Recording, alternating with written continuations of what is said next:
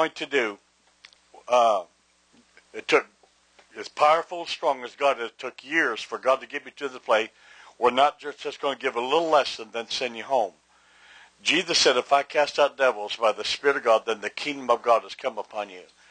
Now, we talk a lot. Of, here's what we're going to do. I'm going to, I'm to speak here for a little bit, and then we're going to, we'll, we'll have an altar call. We'll have the altar workers come forth. I'm going to take about a five-minute break, and then we'll take people that want things broken off your life. We're going to take it back in this section. So if you need deliverance, if there's things, if for the, we're going to pray for the sick and the press, that things will be broken within your life. And the Bible said, I got four scriptures over here on the, on the lavender flyer, that every time a demon is cast out, it's a miracle of God. It's a supernatural power of God. Okay, so this, uh, I want to make this clear so that people understand what and why. Is that there's the, the Bible says, go in and possess the land. And what I learned is that there's a land without, but there's a land within. What we're going to do today, we're going to go right into the land within you, in your mind, in your will, in your emotions, in your body, in your sexual realm. Any curse upon your uh, poverty, your finances, going to go in there and undo that heavy burdens. Jesus said, for this purpose, I, I came to, the, to destroy the works of the evil one. So any works of the evil one that's operating against you, God wants to set you free. Uh, away with just talking about being free and walking out bound. They're, they're going, the freedom of God is going to be brought right where the chains are. The chains are going to be broken, and you're going to be released. You go out changed today.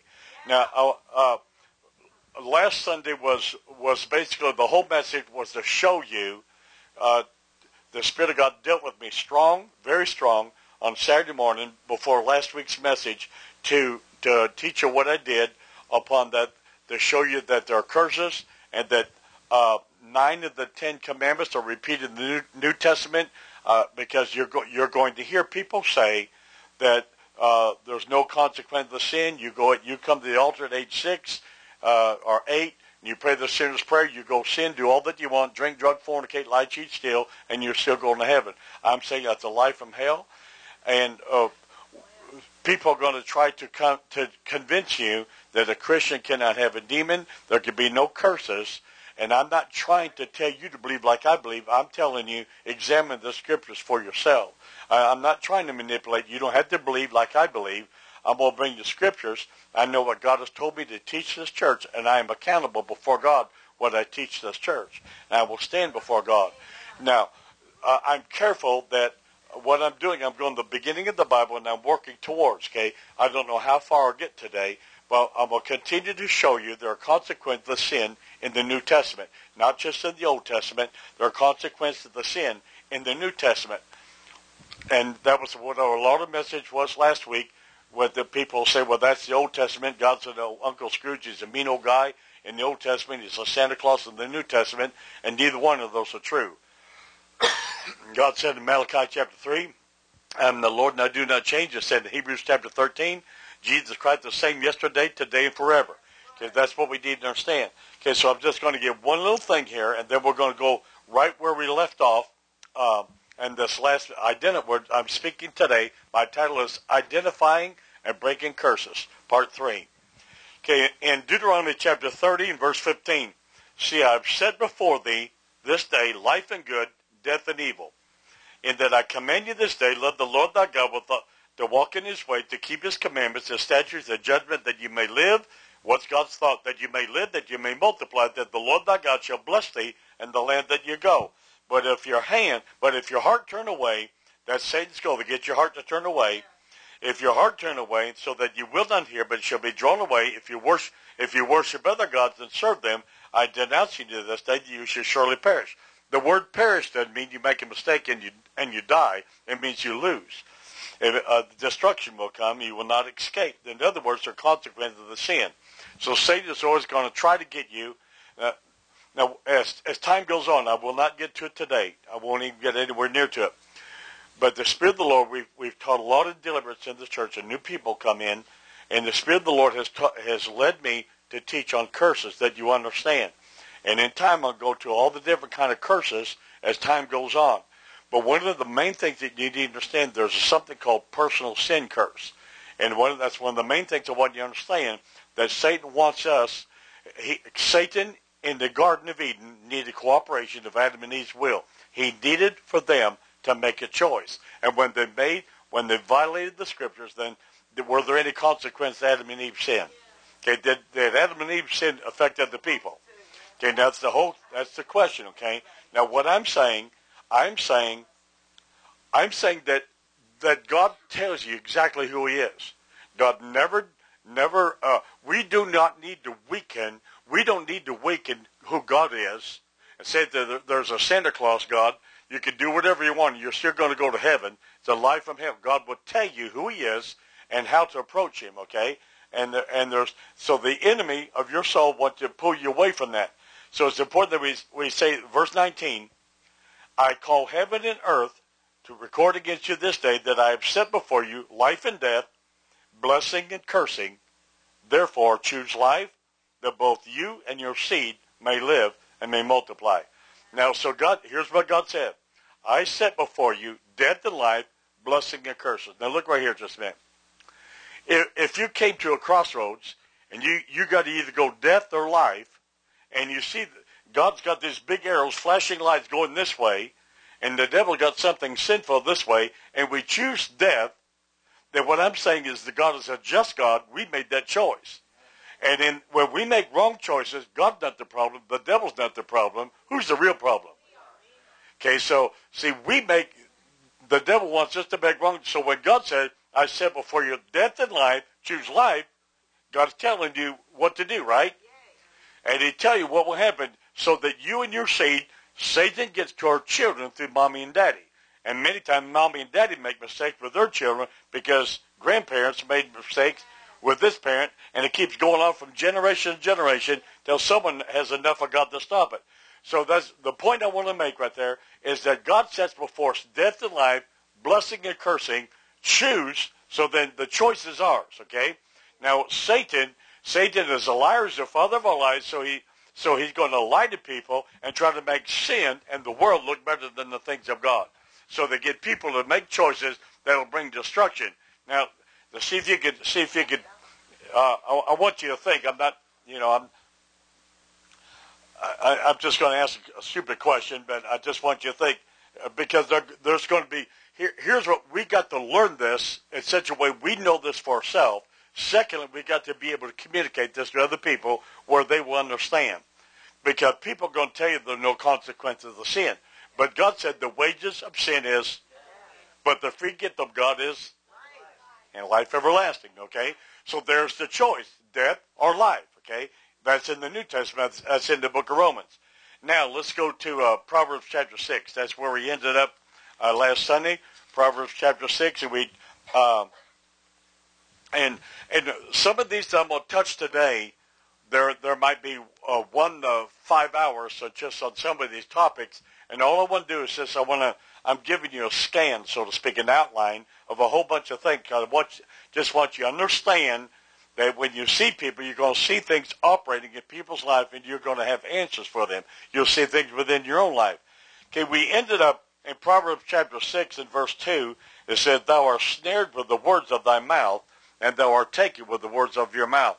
Have you ever, now, one of the things, uh, and I won't elaborate on this because we spoke on this before, but see, when we learn, when we learn to listen to that internal voice that's going on inside of us, you ever heard? Uh, so sometimes we can say something like, "I'll never love again. I'll never trust again. I'll never open up my heart again." So we can put a word curse upon us, and uh, that we speak that death to ourselves, and that we can't understand why we why we have trouble submitting to authority. We have trouble with the opposite sex. We have trouble with the same sex, or we have trouble opening up our hearts. We have trouble lusting. I'm, I'm, we have no trouble lusting. Loving.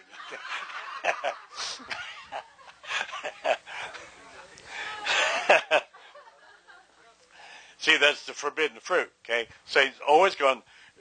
Let me let me inject that. See, there's there's two spiritual fathers, either the devil or God. Okay, and uh, Jesus said, "Your father is the devil, who was a liar." Okay, so when people lie, who's their spiritual father. See, my whole life before I became a Christian was a lie. My whole life was a lie. Then when you get saved, God becomes your father, and when you understand that he he begin, he teaches you as the heavenly Father. Now, in the same uh, same chapter, there we're going to pick up. Uh, that's where we ended up uh, last Sunday. We're going to go to uh, verse ten. I'm sorry, verse six. Proverbs six six. Go to the ant, thou sluggard. The sluggard means idle, slack, indolent, treacherous, lazy. Go to the ant, you sluggard. Consider her ways and be wise. The ant has no guide, no overseer, no ruler, but provides meat in the summer and gathers her food in the harvest. Now, I don't want an ant to outwork me. An ant will work and gather more food than a human being. and a human being go dig up an ant and say, give me, give me some of your food. Verse 9, how long will you sleep, O sluggard? That means idle, slack, uh, indolent, treacherous, lazy. How long will you sleep, O sluggard? When will you arise out of your sleep? Now, the one I'm talking about now is poverty. I want to show you how poverty comes. Verse 10 says, Yet a little sleep, a little slumber, a little folding of the hands to sleep.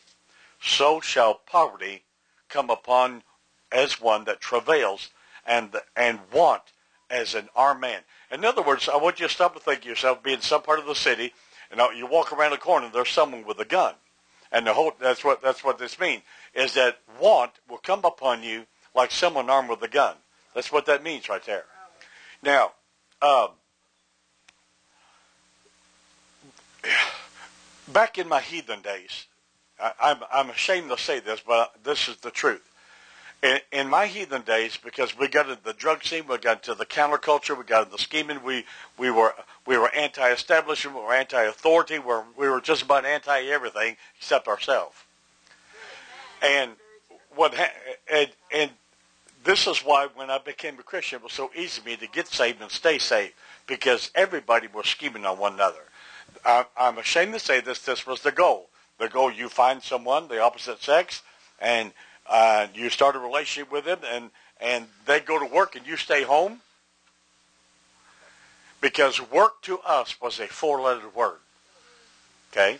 Okay, so if the person put pressure upon us, go get a job. Well, we go get a job, but we had long hair. My hair was about as long as hers, and my so I would say, well, I, I got fired because they they don't like hippies there.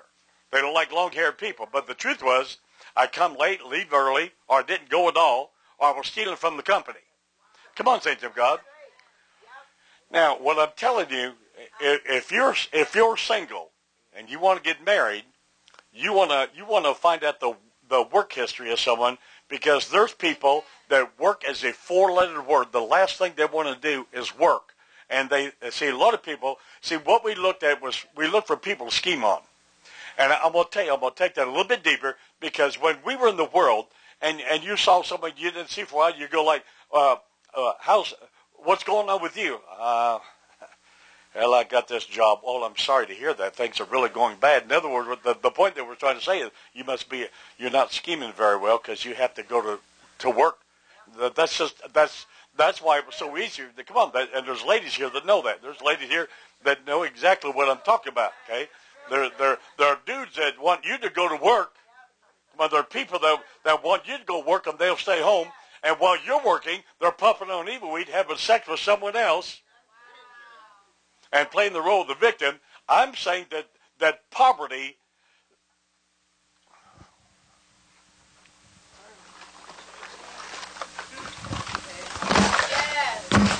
Some people hug their poverty. They don't want to be set free from poverty from nothing in the world. It's their lover. Because to break poverty, they got to get a job. I, I didn't. I didn't curse anybody out right there. I "You got to work." Come on, uh, on. I'm, I'm telling you, that's exactly. I'm not bragging. I'm Just saying that's where we were. That's where the that's where the baby boomers were. The the hippie generation. You want to know where we were? That's that's the bottom. That's that's what we were. Everybody schemed on one another, and, and uh, uh, yeah, I'm serious. This was so common. Find someone with a good job, shack up with them, play the role of the victim. Well, they don't. I can't get a job. They don't like my long hair. No, they didn't like my attitude. They didn't like, you know. So poverty shall come upon thee as one that travails, and one as a armed man. Okay, now, the, right there, now see, the problem, God, is, is that God's inability to provide is that the devil stealing their money or, or the person the problem. Okay, now over and over again, you're going to see people that the reason there's poverty because they're the problem. See, what, what I'm saying is that if you add one plus one, you come up with two. If I get the job, then I'll have money. Yes. Uh, but I, I, I, I, I'd rather stay home and watch Jerry Springer. Come on, Sam. There's people that do that. There's, there's people that do that. Okay, now let's go on. I want to enlarge upon this because I want you to see there's certain thing here. Uh, and when you when you learn this, okay, Proverbs 21, Proverbs 21 and verse 17 says that he that loves pleasure shall be a poor man. See, people drink, drug, party, fornicate, lie, cheat, steal. The, they would rather watch soap operas than Jerry Springer than get a job. I, am sorry, I'm not communicating very well. I'm not. Come on, saints of God. Come on, this is real. You got to understand.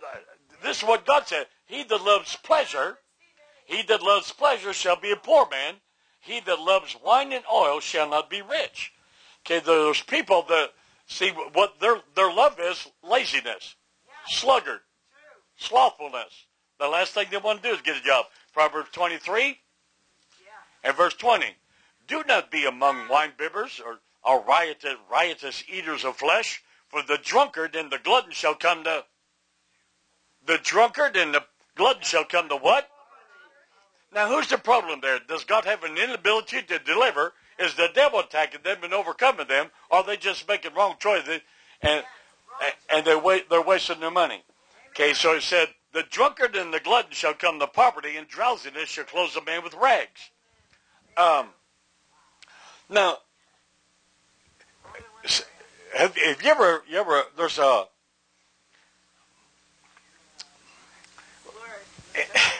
I'm trying to, in in the realm of, of, of taxes, okay, the government taxes, and there's certain things, there's a certain area they call it sin taxes. Cigarette, they tax alcohol. Come on, they they tax cigarettes. Come on, there, there are all these different things they, they tax. And see, if, if you looked at someone, if you added up, uh, how much does a pack of cigarettes cost? Anybody? Everybody go act like they don't know.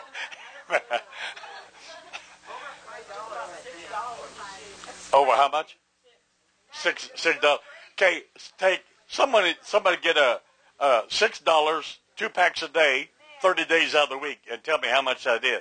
Six dollars a pack, two packs a day, and tell me what that adds up a month. Eight, 84? 84 a week? A week?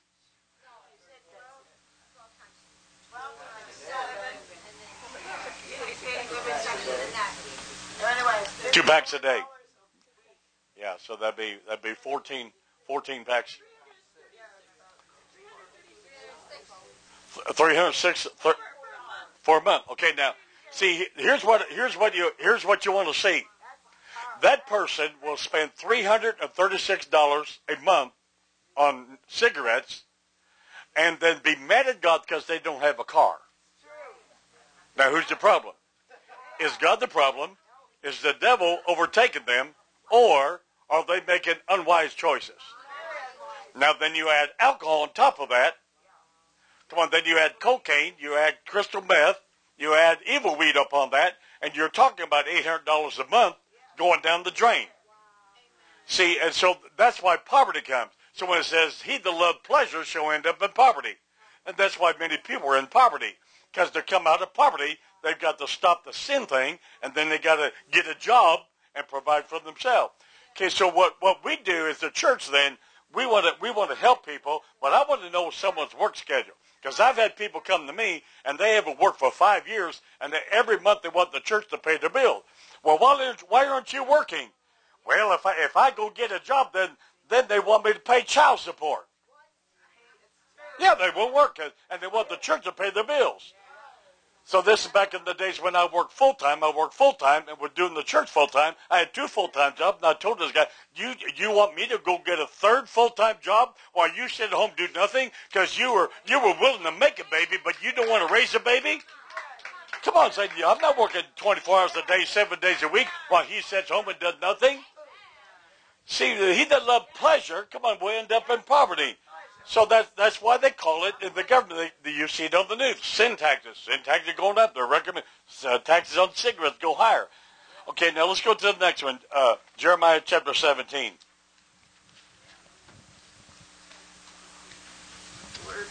Jeremiah chapter 17 and verse 5.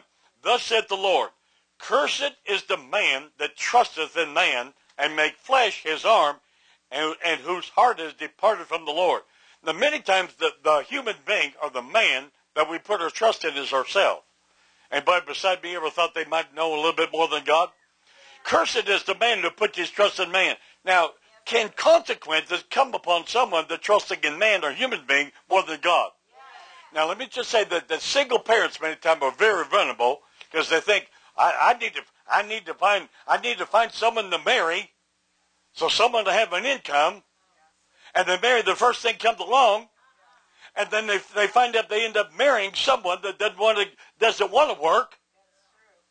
So now they got another child to raise, although the person's an adult. Okay, so the see if we try to trust, well, uh, I need to marry someone so I'll have an income. It's a it's trusting in trusting in people. Okay, I'm telling you, if you if you love God, you want to go on with God. You're better you're better single than married to someone uh, that uh, you know that curse you out every that, that, that you know doesn't want you to go to church. It's a bunch of nonsense. Cursed is the man put the trust in man and makes flesh his arm, and whose heart is departed from God. For he shall be like a heath in the desert. Okay, if we put trust in man and people rather than God, God says, here's how it would be, would be like a heath in the desert, and shall not see when good cometh, but shall inhabit the parched places in the wilderness in a salt land and not inhabited. That the land would be so bad no one even lived there. But blessed is the man put his trust in God. Isn't that what you're going to do?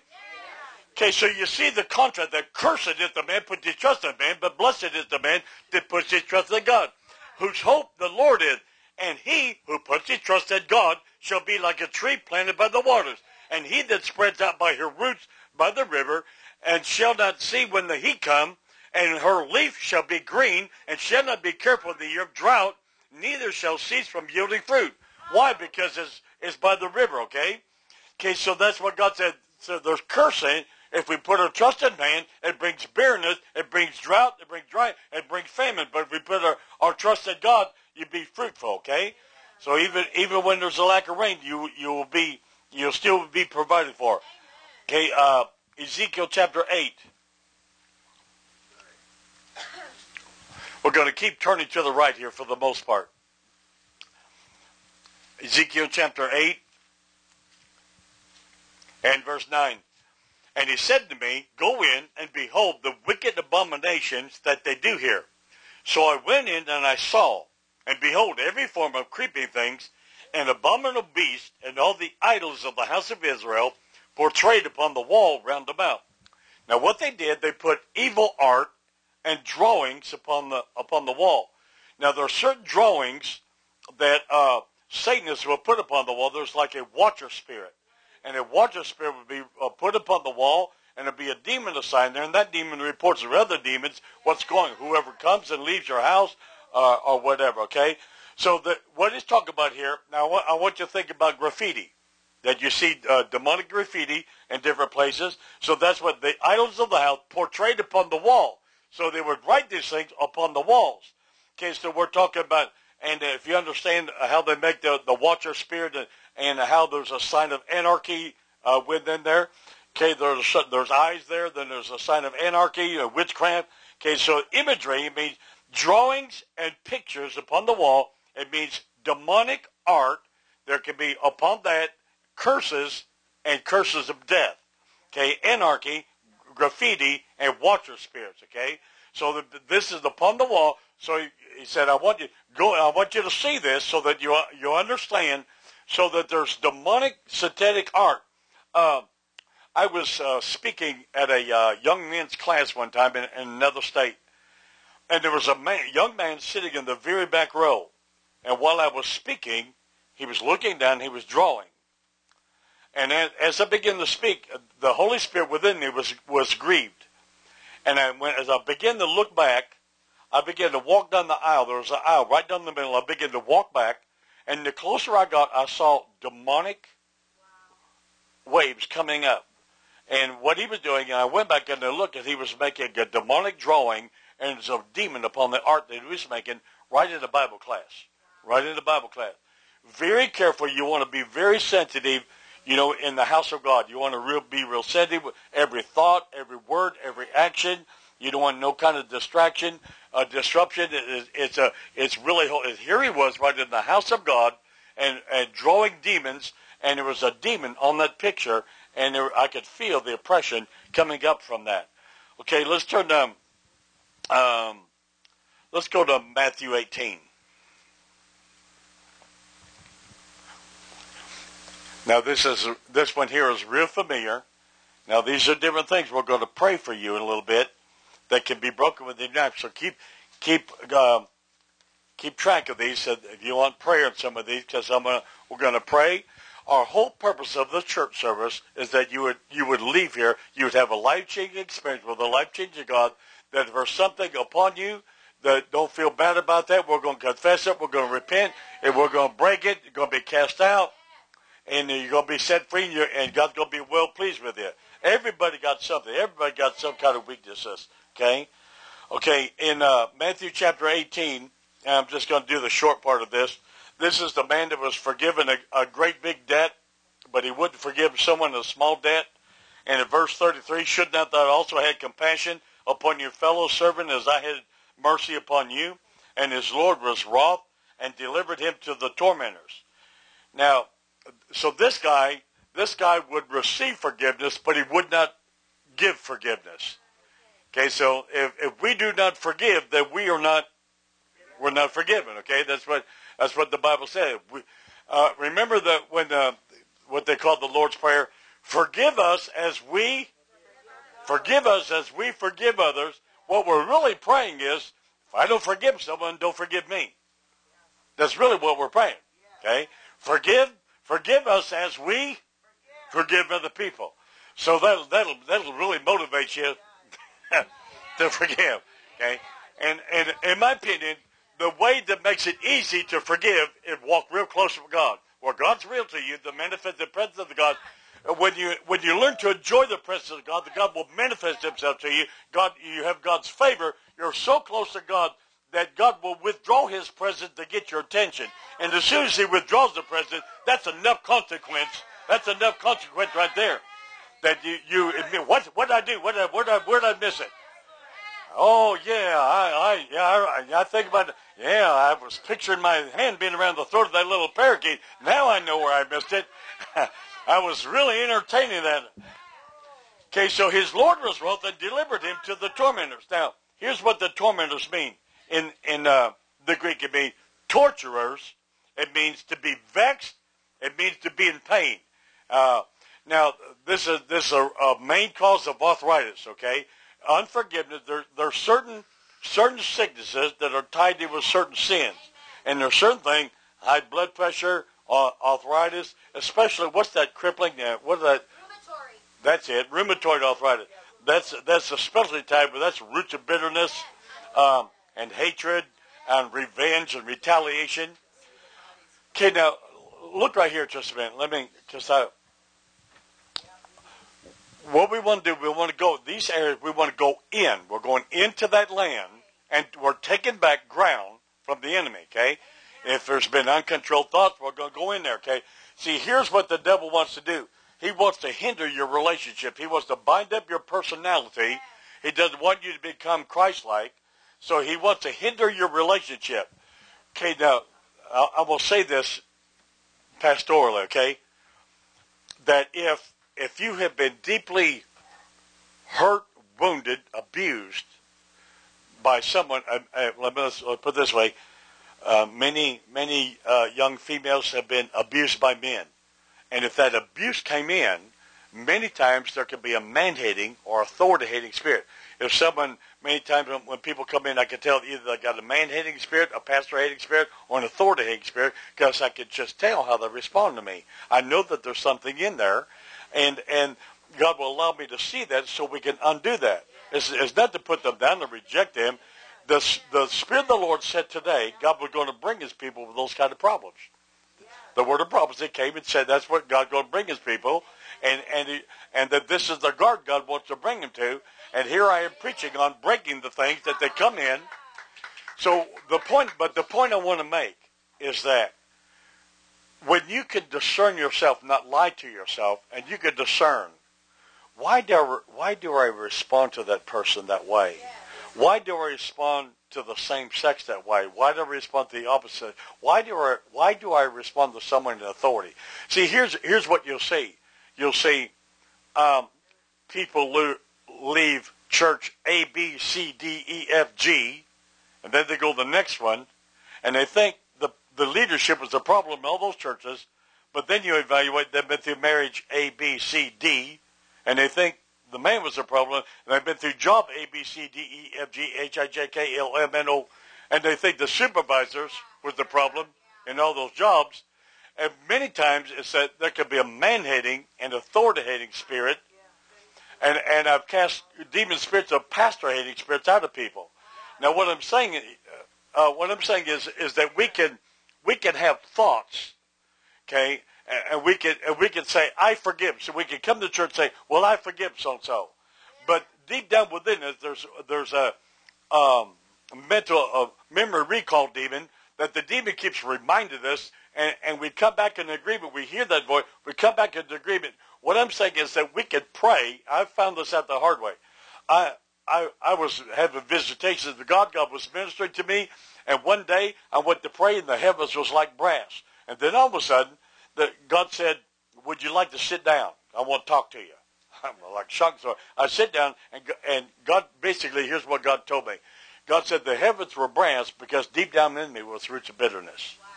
Wow. Now I still was I was praying. God was manifesting Himself to me. I had victory.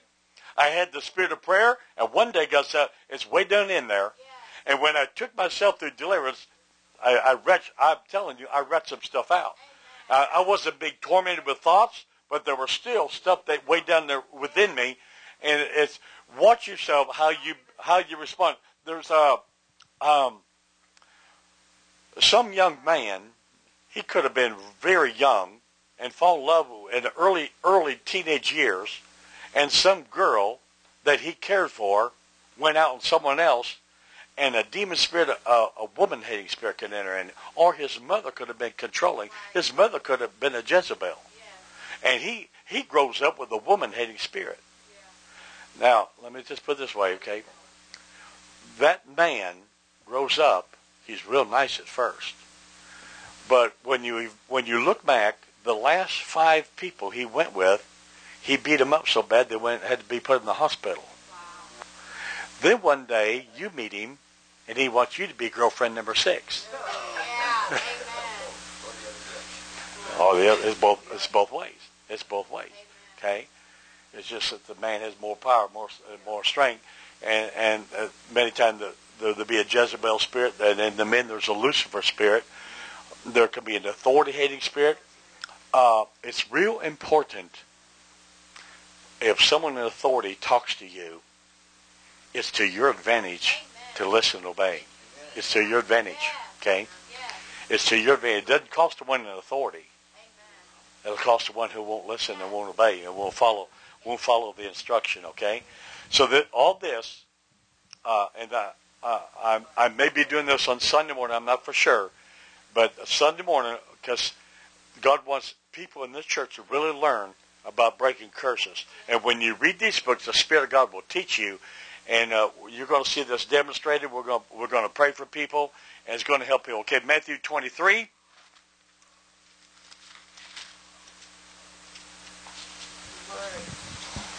Now, in, in some of these I'm going to share with you, you're, you're going to see prophetic pictures, okay? Prophetic pictures that'll help you understand why things are that the, the way that they are. In Matthew 23 and verse 29, This is Jesus speaking, red letter. Woe unto you, scribes and Pharisees and hypocrites, because you build the tombs of the prophets. Well, what do you do for a living? I build tombs for prophets. Because anybody got the courage and faith to tell me the truth, I kill them. Hang on, you think I'm kidding, okay? Okay, they build the tombs of the prophets and garnish the sepulchres of the righteous and say, if we, here's what we say, if we, if we had been the day of our fathers, we, we would not have been partakers with them in the blood of the prophets. Wherefore ye are witnesses unto yourself that you are the children of them that killed prophets. Well, well what does your daddy do for uh, for a living? Well, my my my daddy's a bookkeeper. My my daddy's a doctor. My daddy's a lawyer. My daddy's a truck driver. My daddy's a farmer. What did your daddy do? Kill prophets. Now, do you think that will affect whether that be passed down? Come on, this is a red letter. See, one of here you have to understand where we're coming from. Okay, for this purpose, the Son of God was manifest to destroy the works of the evil one. Okay, so anything that can be within you, God wants to break it. He wants to set you free. No one talking down to anybody. That if we want to be set free, we can be set free. Here's what God's saying. I said before your death and life, it's your choice. I said before you cursing and blessing, it's your choice. Choose ye this day. Now what I'm telling you, see, don't blame God when you choose cursing and curses come. Don't blame God. Don't get mad at God. Don't get mad. Don't get mad at the preacher. Don't get mad at anybody if you choose death and you end up sick. Come on, sickness is just a tiny portion of death. You're on your way. Come on, seriously, saints of God. See, this this is so simple. We try to make it uh, so. We just try to make it too complicated sometimes. It, it's just there's there's two roads. There's one one road says death, one road says lying, one road says cursing, one road says blessing. See, we choose. That, that's why this that's why this book right here. It's just this is so powerful. This is so simplistic.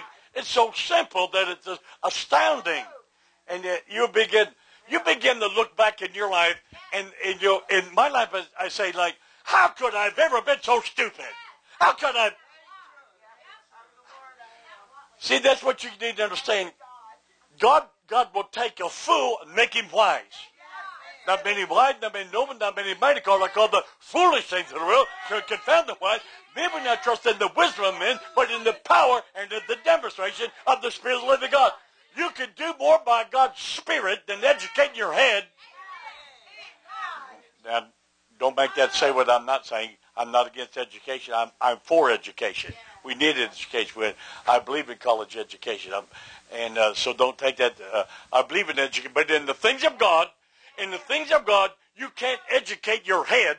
There's something about the Spirit of God that give you revelation. It's not by might, it's not by power, it's by my Spirit. Okay, now. All right, now, let me get, let me get, because we, we, get, we got to really see this. We got to understand this, okay? So that uh, let God help you, and then God through you can help other people. Okay, so verse 31 said, Wherefore you're witness to yourself that you are the children of them that killed prophets. What your daddy do? Kill prophets. Verse 32, Fill ye up. Now this is Jesus, this is red letter. This is what Jesus said to them. Fill ye up then the, the measure of your fathers. You serpents. You, you generation of vipers. How can you escape the damnation of hell? Behold, I send unto you prophets, I send you wise men, I send you scribes, and some of them you shall kill, you crucify, and some of them you shall scourge in your synagogue, and you persecute them from city to city, that upon you may come all. See, now, now see, let me. Upon them going to come certain. There could be consequence. Now, is the devil, is God's inability to deliver them from, is the devil overcoming them, or are they making choices? All right, now. Now, let me, let me say this. Say, well, there's a generational curse. Yes, but we still have a will. Now, here's the way, uh, uh, this way I explain it. And uh, don't throw tomatoes at me, okay? In my heathen days, I was, un, I'm not bragging, I'm just, I was an immoral man. I was in a band, ball player. I, I was an immoral man. And when I got saved, I could still go to church and my eyes go boing, yoing, yoing, yoing. Um,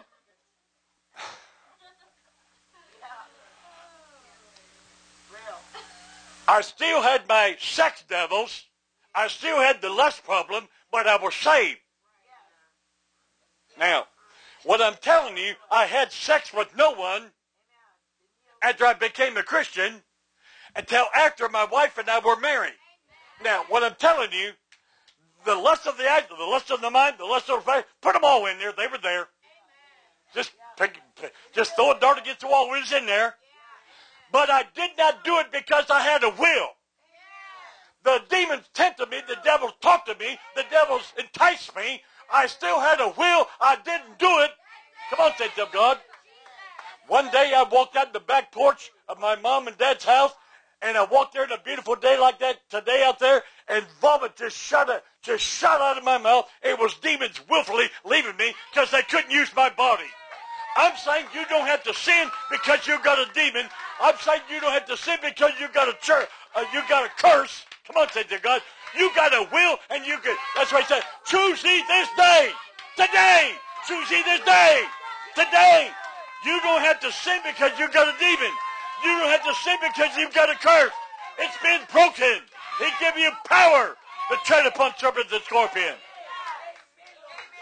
So don't go sin say, well, I, It's God's fault. I got a demon lust. He didn't get it. You didn't want to get rid of it. When it was time for deliverance, and we're going back here, you're going that way. Esau, Esau gave up his inheritance for a bowl of soup. Oh my God!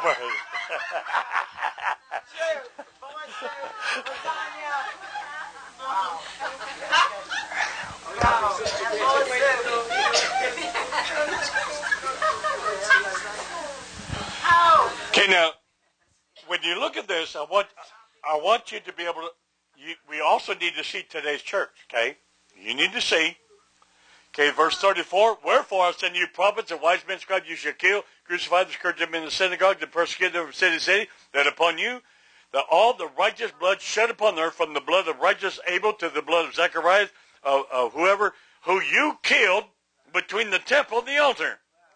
Verily I say unto you, all these things shall come upon this generation. O Jerusalem, Jerusalem, you that that do what? You that kill? Who does God have in your life? What prophet is in your life telling you the truth, and how do you treat him? Did I just did I did I make? I thought I was in a Pentecostal church. Did I accidentally stumble into Episcopalian church? Come on, saints of God. I thought I was in a Pentecostal church. Oh, Jerusalem, you kill prophet. You stone them that are sent to you. How do you treat people that God sent to you? You ever had someone come to you and tell you the truth about you? Oh, we're comfortable telling other people the truth about them, but one day God sent someone to me. And then I'm thinking about how good my hand would feel around the throat of that parakeet. No, let's say, I was thinking about an elder. Ah, but watch this, okay? This is going to help you understand. Something goes on. How often I would have gathered your children together. See, what's God's heart? What's God thought? I'm going to send you a prophet. I'm going to send you a scribe. I'm going to send you a teacher. I'm going to send you uh, someone to know the word. I'm going to send you a preacher. And what'd you do to him? Kill him? Stone him? See, that's why there's a warfare. Now, it's important that you, I say this over and over again, they, they're not going around killing warm-hearted pastors. They're not killing mild-mannered teachers. It's not the evangelists they're killing. Who are they killing? What is, what's the devil trying to get out of the church? What do they not want to hear? The truth. I'm telling you, it's real hard. It's real hard to get a prophet to compromise. Prophets are just made different. Prophets, prophets do not fear man, they fear God.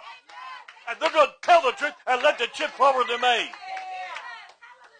Be careful, loving, going around giving people truth when you won't receive truth for yourself. Well, I did get near as many amens right there. Come on, Saints God. Seriously, we got to be careful because I've seen, you know, I've, I've seen the talk, and that's that's right. I'm gonna go around. I'm gonna give. I'm a, I'm a truth giver. Yeah, I have no anointing unless you receive truth. That's the one that has authority. So I, how often I would have gathered together your children together even as a hen gathered her chicks under her wings, but you would not. Okay, oh. you see God's heart? Now watch what verse 38. Behold, your house is left and you desolate. Have you ever been to? You ever been to a dead church? You ever been to someone's house and? You ever been to a church and it's? Your house is left and you des- desolate. Why? God sent him a prophet to give him truth. What did they do to the prophet? Then they stoned him. Okay. Your house, therefore, is left unto you desolate. Now, I, I, I, I'm not trying to insult you. I just want to say this over and over again. Is it God's inability to deliver them? Is the devil overcoming them? Or are they just making unwise choices? See, watch yourself over and over again. Satan is, he's a legalist. He's always looking for a legal right. He's trying to get you and I to violate God's word. Have God said? What's the correct answer? Sure is.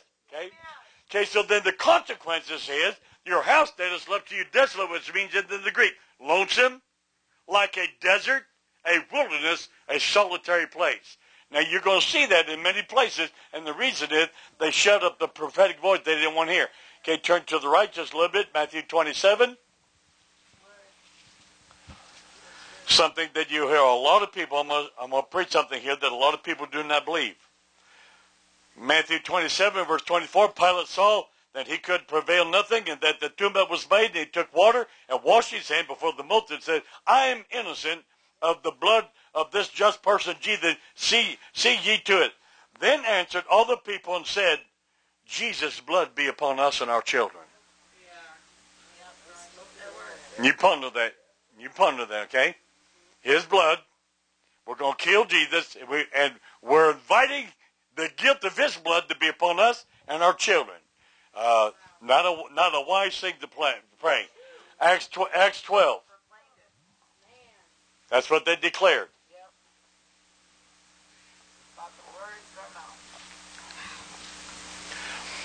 Acts chapter 12, in verse 21. And upon a set day, Herod, arrayed in royal apparel, sat upon his throne and made an or- oration to them. And the people gave a great shout, saying, It's the voice of a God. Herod was making himself out to be a God, little g. It's the voice of a God, not a man. And immediately the angel of the Lord smote him Wow. because he did not give God the glory, and he was eaten of worms and gave up the ghost. A King James language means he passed on. Okay, now, eating of worms in prophetic language means representing ancestral demons. There's something out of sight, under, okay, and so that's what that's what eaten of worms speaks of. Ancestral demons. It's symbolized of underground deterioration. Okay, there could be things eating away inside of someone, and they have no idea that what's what's going on. Okay, so that uh, do you was there a consequence right there? Yes. Okay, is that is that New Testament? Yes. Okay, so in the New Testament are the consequences of the sin. Okay, Acts chapter 19.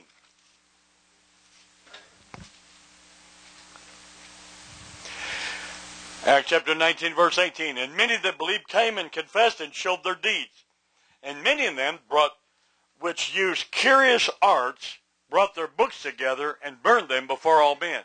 Now the word curious arts, okay, represents a whole bunch of things. Think of the people uh, with romance books, sex books, porn.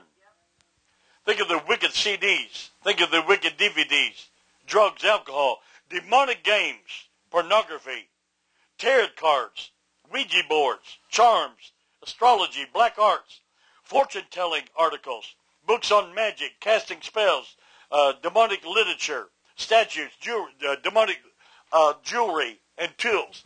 You don't want any of that in your house. Right above John Rome's head, there's a, a green book and a black book at the very top there, and both of them talk about things within your house. And then right behind John Rome's neck is two books by uh, can't think remember her name right now. No, not Alice Smith. Um, Demon Dictionary.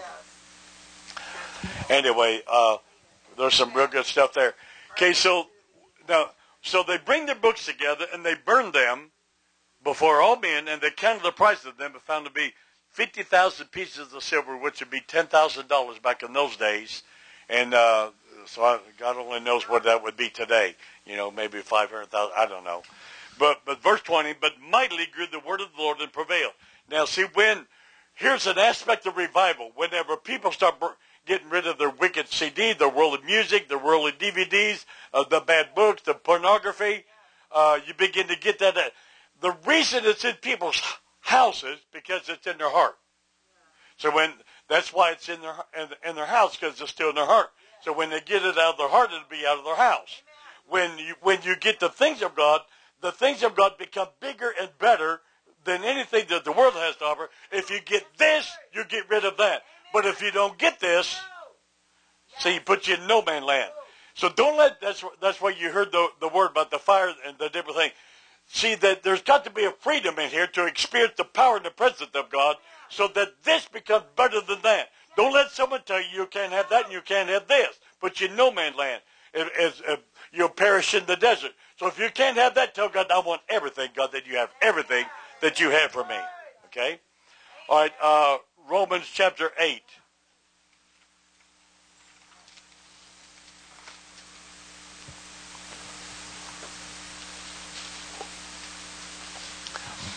Now remember, now no one's talking down to you. This many, you know, some of us are in here. We may have done things before we became Christian. For something that needs to be undone, we're here to help you.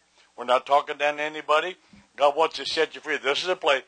Uh, I wondered one of the reasons I stand so, so strong for deliverance and breaking curses because when I became a Christian, I needed a lot of deliverance, and it was hardly being done in the city back in those times. Uh, I don't, I don't want to blame other people. Uh, if I'd have really sought God more, um, things would have happened. But I don't want you to spend as many years wandering in the wilderness as I did. Uh, I needed a lot of deliverance. I need things broken off in my life. That's why if it's in the Bible, we believe it. We're going to do it. Let the chips fall where they may. That's that's just uh, the way. Okay, Romans chapter eight and verse five. For they that are in the flesh do mind the things of the flesh, but they that are of the Spirit the things of the Spirit. That's basically saying the same thing. I said before your death life, cursing and blessing. Choose choose uh, life that you and your seed may live and may multiply. Okay, so that says either the flesh or the things of the Spirit. For to be carnally minded is death, but to be spiritually minded is life and peace. So people then that are carnally minded, the word carnal means they put the flesh before the spirit. Put the outward person before the inward person. Put people's body before any character. Put their physical part before the spiritual part. Put the natural before the supernatural. Will put immorality before morality. Put sex before who they are as a person. That's what the word carnal means, okay? To be, uh, to be carnally minded is, so if they come to church, they can't figure why they feel so dead. See, because to be carnally minded is death, but to be spiritually minded is life and peace. When when being alive in the Spirit and peace with God becomes better than there, freedom. See, freedom. And then what that releases you from the past and you begin going for it because you, you begin to realize how good God is. And if God is this good, as little as I know about him, what if I keep growing? Okay, verse 7, because the carnal mind, which means the flesh or uh, our body as opposed to the spirit man, it speaks of animal appetites, the natural, not the spirit, because the carnal mind is enmity against God, which means hostile. Opposed means, it literally means this in the Greek, hates God. Hates God. And we saw that we, we shared in Romans, Romans chapter 1 last week, that uh, haters of God, haters of authority. Okay, so there's enmity against God and is not subject to the law of God. Therefore, them that are in the flesh cannot please God. Now, can you see right there the consequence of being carnally minded. Amen. Now here, here's what I'm saying. No matter how carnally minded someone is when they first come here, they can be set free. They can come. They can come out of no matter how carnal. That's the message that we're preaching. Okay, we're not saying you're horrible, wicked because uh, you've had a carnal thought. We've all had some. If, we were to be honest, we've all had a few. Come on, says go. What I'm telling you, if you've got a carnal mind, you don't have to stay carnally minded. You can be set free from that. There's, that's a demon. We can cast carnally minded out. We can cast uh, natural mind out. The natural mind cannot comprehend things of the Spirit. Anything that's blocking you in the realm of your mind, you can be set free. God will renew your mind. He said in Ephesians 4.23, be renewed, which means renovated in the spirit of your mind. He said in, in, uh, in 2 Corinthians 10, 3, 5, for the weapons of our warfare, not carnal, but they're mighty through God, through the pulling down of strongholds, casting down imagination, every high thing, they would exalt itself against the knowledge of God, bringing every thought, bringing every thought into captivity to the obedience of Jesus Christ. Every thought that comes to you, you have authority. You can take that thought captive. You got authority over, okay? That's what we're talking about. It's not where you are now. You're not going to be where you are spiritually one week from now, one month from now, one year from now. You will not be the same person because you're going, truth will come forth and you will come into alignment with truth and the truth will make you free. If then how you come in that door, you're not going to leave at that door for uh, six months or a year or even one month the same condition. Amen? Come on, give God a praise just here a little bit here. Come on, give God a praise. Okay now. Romans chapter 13. And we're talking about identifying and breaking curses. Different things come upon you. And remember, that's what we're trying to do. We're trying to identify so you can see there's certain thing so that you learn not to, you know, not to violate God's word, okay?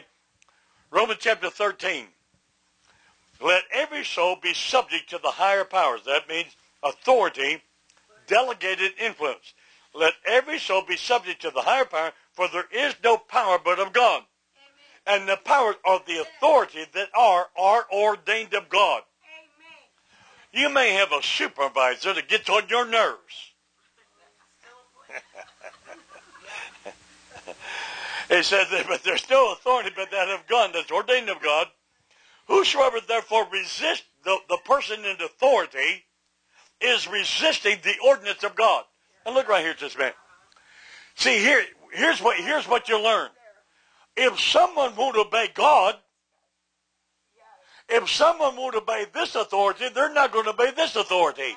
Because here's the real problem.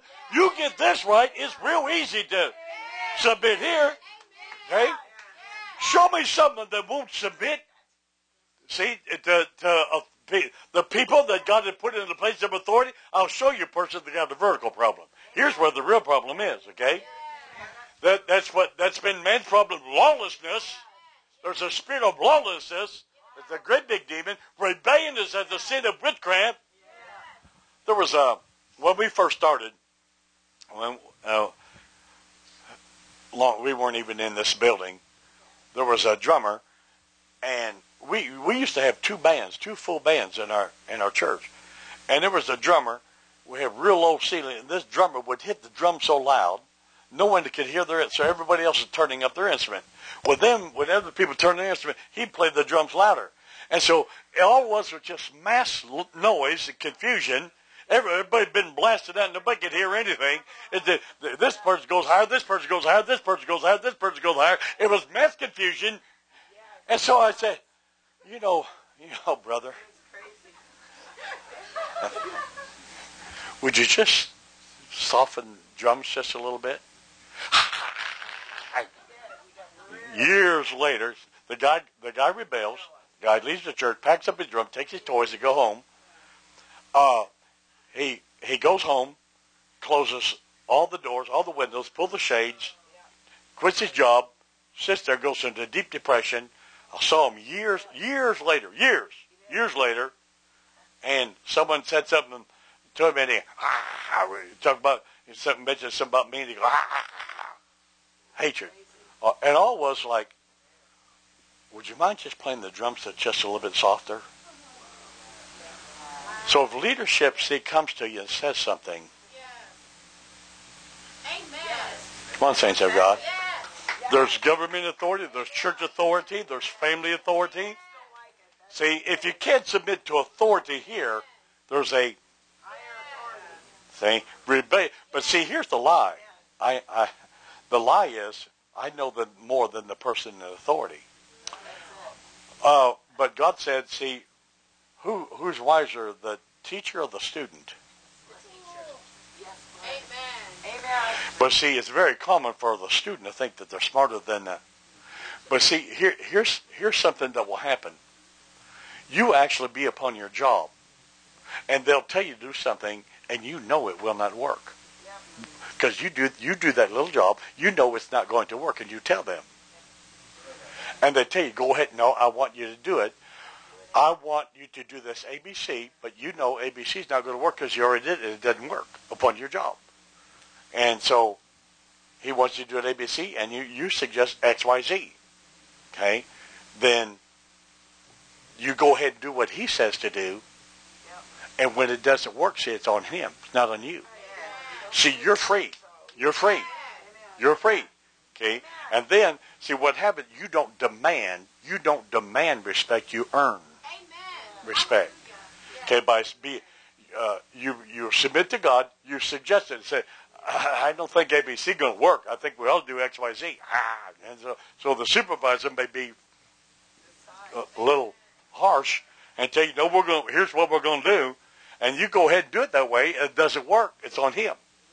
See what happens if that happens. If that happens, one, two, three, four, five, six, seven, eight, nine. Pretty soon they're going to be asking your opinion.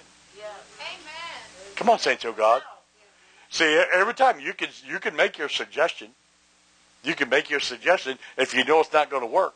But see, see, sometimes, sometimes it's a test of our. It's just a little test for us. Okay, we'll we'll, we'll but I know they're not going to work. But you're you know you're the supervisor, and God tells me to submit, and I'm I'm going to submit to authority. Okay, so verse two. Whosoever resists the, the person in authority resists the ordinance. The word resist means opposes, stands against, and withstands the ordinance of God. And they that resist the authority shall receive unto themselves what? Damnation. I use the King James Bible, which means judgment, which means condemnation. It means to go to law for a crime. Okay, now, if if if if a Christian doesn't doesn't obey authority, is it on the authority or is it on the Christian? Okay, see, because they shall receive it to themselves. For rulers are not a terror to the good works, but to the evil. Wilt thou then not be afraid of the power of the person that's in authority? Do that which is good, and thou shalt have praise of the same. For he is a minister of God. He is a minister of God to thee for good I want to say something, especially single females, you really want to hear. I mean, you want to lean forward. Single females, you want to be real careful who you marry. Amen. Because God has made him to be the head of the family. Sound doctrine? And you don't want to marry someone that won't obey God. Sound doctrine? That's real sound doctrine. See, that person will tell you, a submit, I'm the head of this here household. But won't obey God himself. Okay? That's why it's very important that every one of us know God for ourselves. So that if you're here and any kind of stronghold that's within us, God wants to set you free. That's the purpose of it, okay? In a little bit, this church service will get a little ugly. We're going to have an operation. Okay, they're going to be in the operating room. The Holy Ghost will be doing operation. And if you want to get rid of some stuff, you can get rid of some stuff. What God will set before you is freedom or bondage. Choose you this day. What God will set before you is come out or stay in. Now, people with the biggest demons are convinced. I don't need deliverance. That's, real big demon. That's the biggest demons. Yes, that's the demon says I don't need deliverance. There must be some drug addict come in here, somebody, some yeah. filthy sinner stumbled in here. That's who. That's who deliverance is for. That person's got the biggest, bigger demon because they'll kill the prophet. They'll kill the person in authority. They hear voices. Wow. Okay, next scripture, uh, first, First Corinthians chapter six.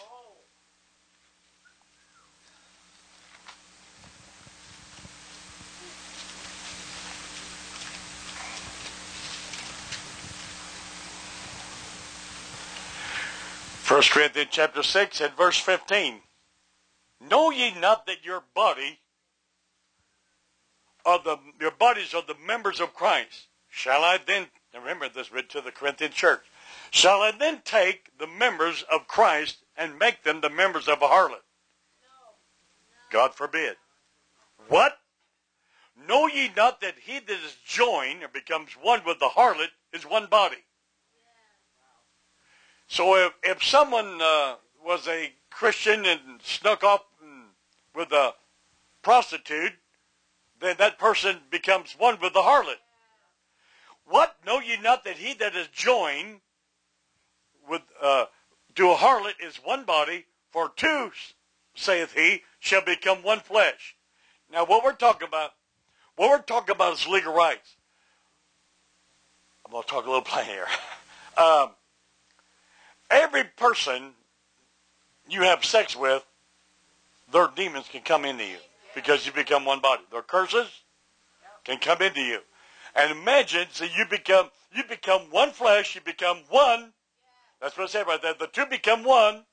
Now, uh, different ministers will share this different ways when they talk about um, soul fragmentation. Okay, and, and so I'll just I don't try to tell people you're going to believe like I believe. That in in um, in fragmented souls, many times it's like, let's just say someone has been sexually abused when they're a child, then uh, there'll be some separation of their soul, and there'll be parts and the, the, what we call alters, and that alter will go to a certain place, and those alters can manifest, and some of those alters become uh, demonized. Uh, other other ministers will say fragmented souls. Every time you have sex with someone, you're giving them a part of you, Yes. and then then you can become a Christian, but you gave away part of yourself to every person you had sex with. And so that's what we call ungodly soul ties. So then you got to break the soul ties. Okay, so every person then that you had sex with, you gave away part of yourself, and that's what we call soul ties. And we got the book up there, Soul Ties, on the top shelf, the black one, right above Brenda uh, and Rick's head back there. Okay, so that's what this is saying.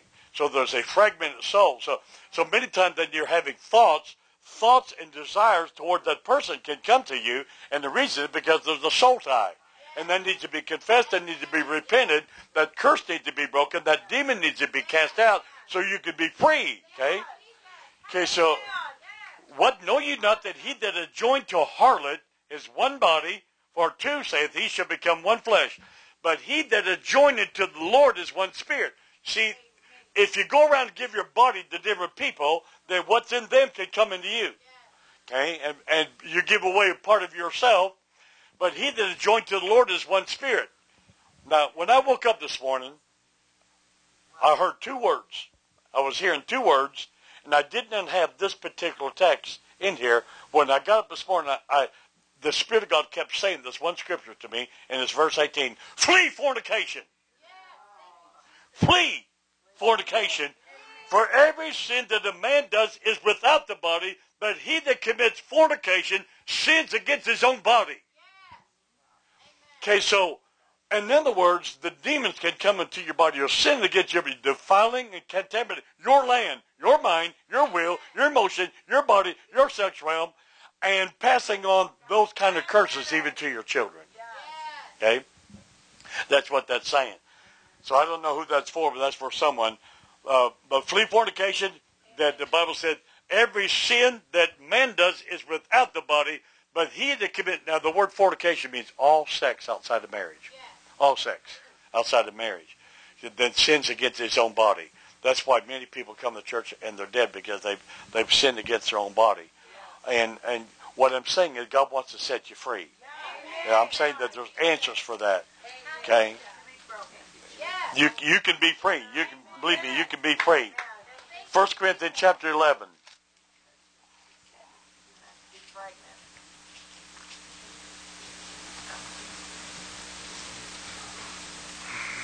You know, I'm gonna, I'm gonna skip that. Let me, I'm gonna skip that one.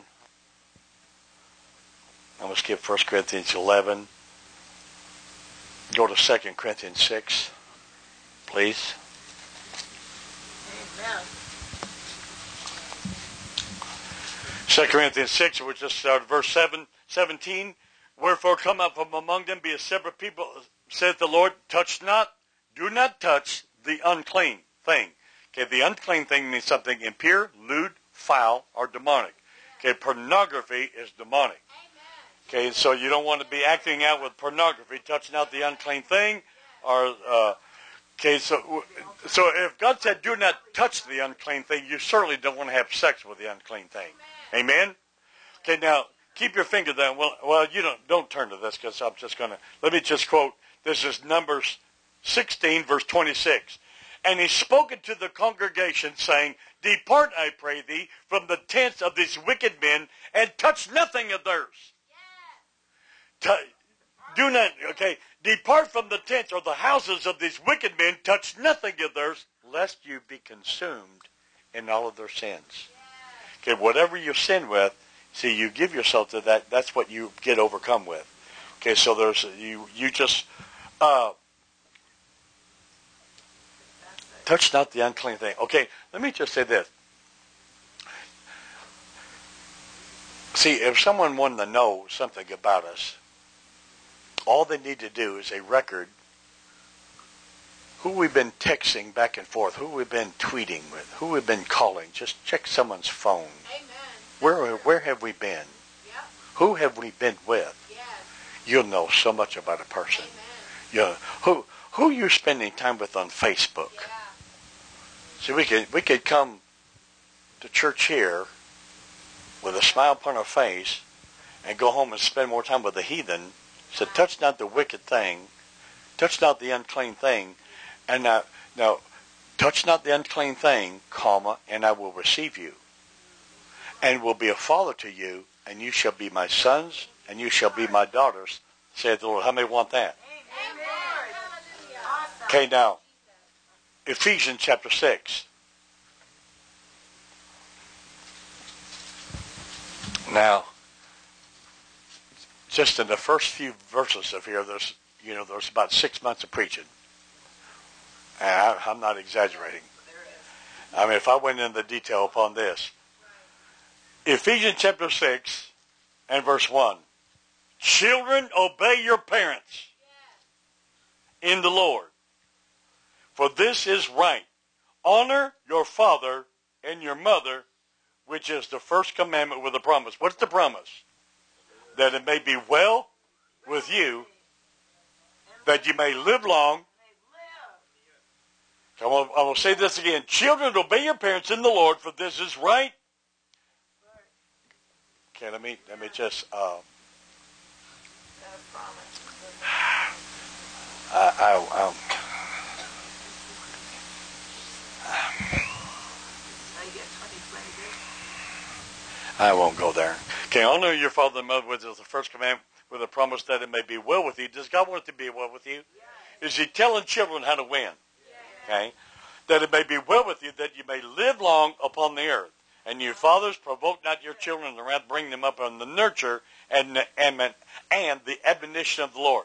When, when, we, when we have a child dedication, we're not saying, God, this is your responsibility to raise a child. What we're saying as a parent, I'm going to accept the responsibility of raising a child in the house of God. So we say, we're making, we're making uh, the vow to God. We're saying, God, I will raise this child in the nurture and the admonition of the Lord.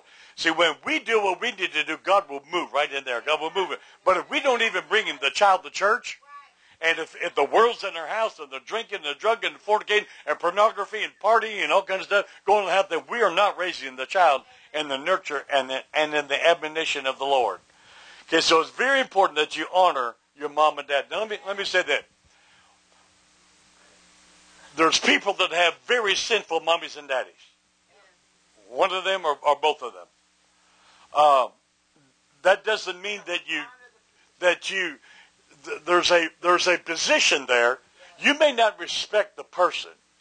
See, you you may you may you may disrespect the person, but there's an honor of the position, and you're not going to disrespect them.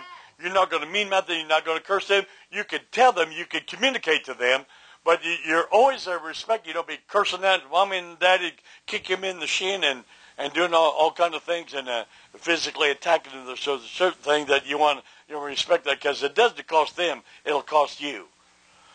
Okay, um, I'm going to skip some stuff here, and then I'm going to let's go to Revelation chapter 22.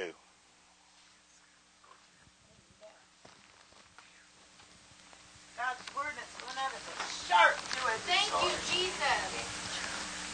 Good Hallelujah. number one.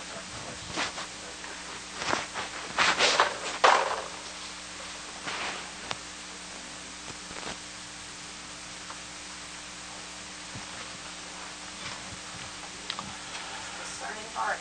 Thank you, All right, let me get there myself. Revelation chapter 22.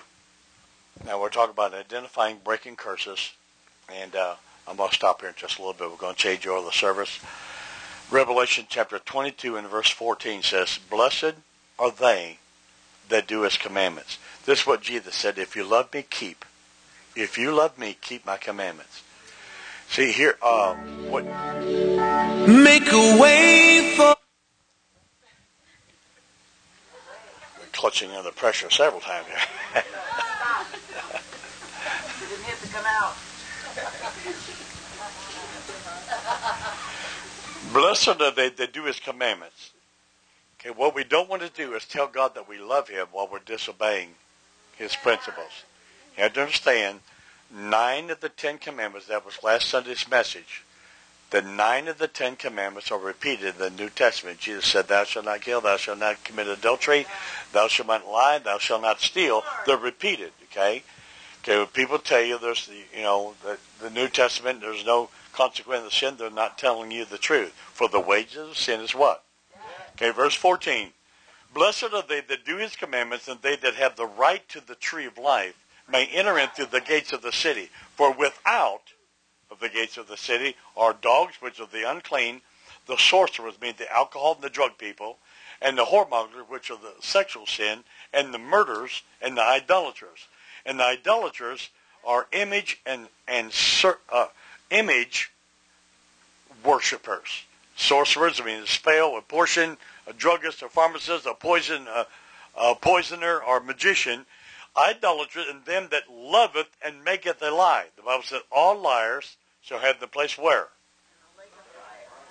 Okay, we're going to come in for landing, okay? Prophetic team, want you tune in. Verse 18. For I testify unto every man. Now I want you to see if, if you can find any consequences of sin here. For unto every man that heareth the words of the prophecy of this book. If any man shall add unto these things, God shall add unto him all the plagues that are written in this book. The word plagues mean calamities, all the heavy affliction, the strokes, the wounds, the stripes that are written in this book. And if any man take away from the words of this book, of this prophecy, God shall take away his part out of the book of life, now the holy city, and from the things that are written within this book. Let's bow our heads in a word of prayer.